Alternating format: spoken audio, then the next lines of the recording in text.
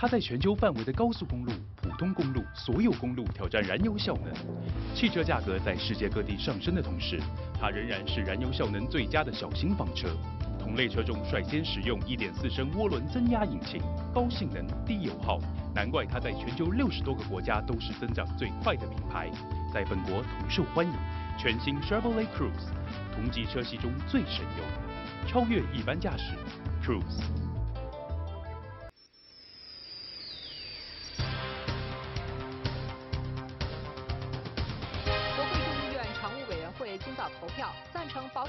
为属藐视国会，有可能会触动秋季大选。加国 CF-18 战机今天在利比亚领空执行护航工作。卡扎菲支持者在绿色广场抗议多国向利比亚进行空袭。日本地震死亡及失踪人数达两万人，自卫队今天继续向核反应堆的三号和四号机组注水降温。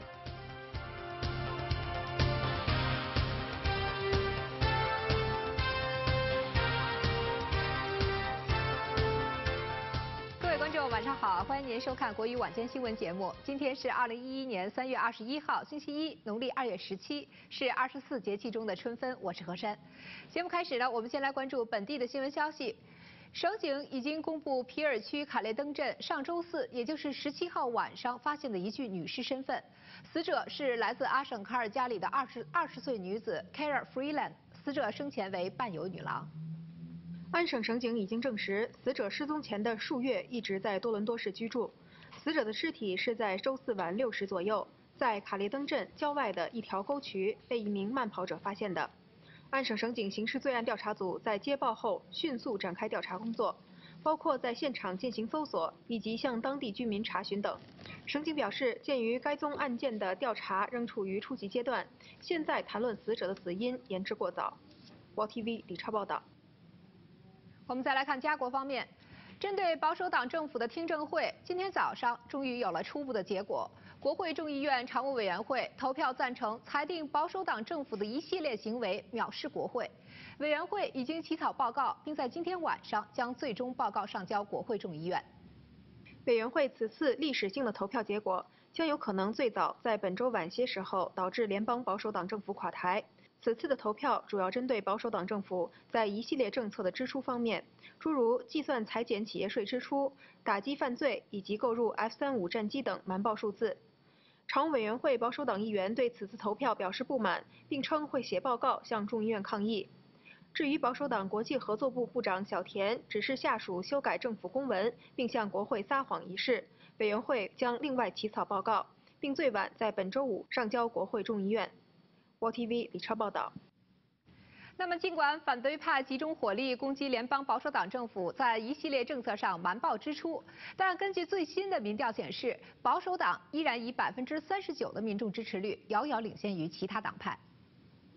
根据 Nanos Research 民调公司最新的数据显示，针对今年的秋季大选，保守党的民意支持率已经甩开其最大竞争对手自由党十一个百分点之多。该民调公司表示，如果现在就举行大选，结果将会和2008年大选的结果非常一致。而在总理候选人是否胜任方面，现任总理哈珀的支持率虽然较上个月下降了七个百分点，但仍然以百分之二十九点八领先。排在他后面的是新民主党领袖林顿，支持率为百分之十五点九，而叶利廷的民意支持率为百分之十二点五，持续下降，仅列第三位。w TV 李超报道。本国财政部将在明天公布本财年的财政预算案。财政部长费拉迪表示，新的预算案将包括一部分刺激经济以及帮助就业的支出。费拉迪称，新预算案的重点仍将放在削减赤字、努力实现政府收支平衡的方面。另外，预算案还将增加一部分新的投资。有消息指，费拉迪此次提出的预算案前景并不乐观。如果反对派一致投票反对新的预算案，将有可能引发新的大选。W TV 李超报道。加拿大空军的 CF-18 大黄蜂战斗机今天进入利比亚领空，执行联合国安理会在利比亚设立禁飞区的行动。此次出动的本国空军战机从意大利特拉帕尼空军基地起飞，为盟国轰炸机执行护卫任务，但并没有立即参与空击行动。一旦众议院通过讨论确定具体时间，加军将最早在今天晚上开始执行轰炸任务。除了此次派出的六架 CF-18 大黄蜂战斗机之外，自二月份利比亚局势动荡以来，加拿大已经在利比亚的邻国马耳他部署了一架 C-17 战机、两架 C-130J 大力神军用运输机以及一支十三人的侦察小队，在利比亚海域部署了载有两百四十人的夏洛特敦号护卫舰。WTV 李超报道。我们再一起来看国际方面的消息。西方多国继续向利比亚采取军事行动。利比亚武装部队宣布，当地时间二十号晚九时起执行全面停火，并停止在利比亚境内的一切军事行动。美国方面表示不承认有停火声明，但美国国国防部部长盖茨表示，将会在未来几天内把空袭利比亚行动的领导权交给英法或者北约组织。英国国防部表示。二十一号清晨，在地中海的特拉法加级潜艇发动第二波攻击，以战斧巡航导弹攻击利比亚的防空系统。美军高层表示，联军连续两天空袭及轰炸利比亚，已经成功重创卡扎菲政府的防空力量，并已经有效地在利比亚领空设立禁飞区。在反对派控制的东部班加西市设立了一支空中巡逻队，阻止利比亚政府军战机继续空袭平民目标。美国国防部长盖茨强调，采取这次军事行动的首要目标是在利比亚领空设立禁飞区，保护该国的平民，而不是要推翻卡扎菲政府。中弹的卡扎菲官邸行政大楼距离卡扎菲惯常用来接待外宾的大型帐幕只有五十公尺，整幢被夷为平地。利比亚指没有人伤亡。早前，美军表示，多国对利比亚的军事行动重创当地的防空能力，利比亚空军已经暂停活动。此前，卡扎菲扬言会与西方联军打持久战，利比亚政府军发射防空炮火还击。当地时间二十号，大批卡扎菲的支持者在利比亚首都迪利波里各处举行集会，抗议多国部队对利比亚进行空袭。在迪利波里的绿色广场，大约一千名卡扎菲的支持者举行集会，他们手举标语，上面写着“我们绝不会屈服”和“我们要么胜利，要么死亡”。他们还不断向空中鸣枪，对联军空袭表示抗议，并表示利比亚已经准备好迎接战斗。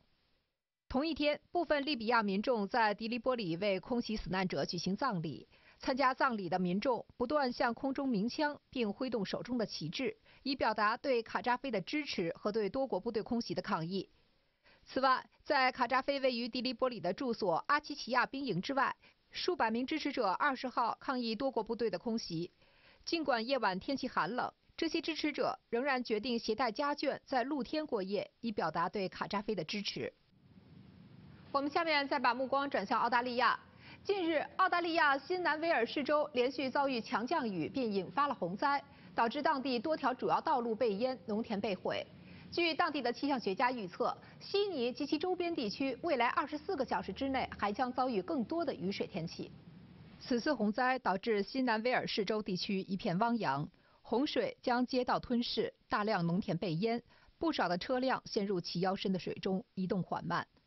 另据路透社报道，政府还向一些处于危险地带的公共学校发出了洪灾警告，提醒这些危险建筑内的人群做好预防措施。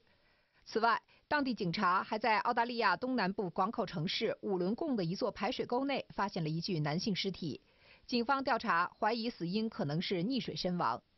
截至目前，连接悉尼周边地区的多条高速公路都出现了严重的拥堵情况。与此同时，悉尼机场也受恶劣天气的影响，航班起降困难重重。据当地的气象学家预测，悉尼及其周边地区未来24小时之内还将继续遭受暴雨的侵袭。今年一月，澳大利亚昆士兰州遭遇严重洪灾，影响当地大约二十万居民，造成经济损失达一百亿美元。转看有关日本的最新消息，日本警察厅今天宣布，截至今天，日本东北部海域发生的强震以及引发的海啸，已经确认造成八千六百四十九人死亡，一万两千八百多人失踪。日本自卫队今天继续对福岛第一核电站的三号和四号机组进行注水工作。目前，除了尚不稳定的三号机组之外，其他几个机组的情况都有所好转。据日本共同社报道，日本自卫队和消防队员今天早上继续进行对三号和四号机组的注水工作。其中，向三号机组的连续注水工作自昨晚九点半开始，持续六个半小时结束。今天早上，十三辆消防车联合对四号机组进行了约两个小时的地面注水，其中十二辆消防车来自日本自卫队，还有一辆消防车来自驻日美军，总计注水量约九十吨。此外，当地时间今天上午十一点三十六分，通往福岛第一核电站五号机组的供电电缆接通。此前，五六号机组的冷却系统已经恢复正常，阀燃料水池的温度也比较稳定。一二号机组的供电电缆正在抢修之中，冷却系统也有望恢复。日本防卫大臣北泽俊美昨天说，自卫队连续两天利用直升机搭载红外装置，对福岛第一核电站各机组表面温度进行监测，结果显示六个机组的表面温度全部低于摄氏一百度，这意味着各机组阀燃料池中都有水存在，连续数日的注水工作取得成效。但预计，即使此次核电站事故得到妥善解决，福岛第一核电站的六个机组仍将报销。核电站辐射的影响范围继续扩大，有更多的日本县市的农产品和自来水验出含有放射性物质。县政府要求农民停止售卖和食用受污染的农产品，政府则禁止四个县的农产品出口。随着对食品持续检测，日本更多地区的蔬菜和牛奶被验出含放射性物质超标。其中，茨城县北部的日立市露天耕种的菠菜，平均每公斤含碘五点四万贝克，是日本标准的二十七倍；铯的含量是一千九百三十一贝克，接近日本标准的四倍。而千叶县旭市的茼蒿、群马县伊势崎市的菠菜和高崎市的芥菜都验出放射物超标。福岛县宣布，县内距离第一核电站三十公里四个地方的牛奶受到辐射污染。饭馆村生产的牛奶碘的含量是日本标准的十七倍。福岛县要求县内所有奶农停止出售或自己饮用这些受污染牛奶，而饭馆村的饮用水也验出碘含量是正常的三倍。后生省劝喻该村三千七百多名居民不要饮用自来水，县政府则为居民供应矿泉水。而日本全国验出自来水有放射性物质的都县由六个增加到九个。不过，世卫西太平洋地区发言人柯丁尼指出，日本多个县的农产品发现有放射性物质，问题较当初预期的严重。因为最初他们认为只会局限在核电站方圆二十至三十公里内，建议受影响的地区不要出口农产品。世界银行二十一号发布报告说，日本大地震和海啸将使日本今年的国内生产总值 GDP 减少零点五个百分点，灾后重建工作需要五年左右的时间。报告说，日本地震和海啸对经济的影响主要集中在上半年，随着重建工作展开，经济迅速会在未来几个季度回升，预计重建需要五年时间左右。报告说。预计日本地震损失在一千两百三十亿美元到两千三百五十亿美元之间，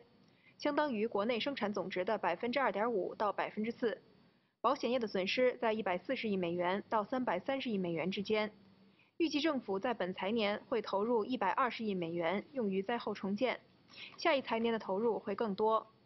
报告认为，日本消费需求以及工业生产的短期回落会对亚洲及其他经济体产生不利影响。因为日本在东亚产业链中的位置十分重要，例如韩国一些电子厂商发现芯片价格上涨了两成，一些亚洲其他国家的汽车生产商也将在未来几个月内面临零部件短缺的问题。报 TV 李超报道。好了，不要走开，广告之后我们还会为您报道中港台方面的新闻消息。中国国际救援队完成日本地震海啸灾区救援任务回国，队员身体状况良好。香港食物及卫生局联络澳大利亚和新西兰的奶粉商，增加幼儿奶粉的供应。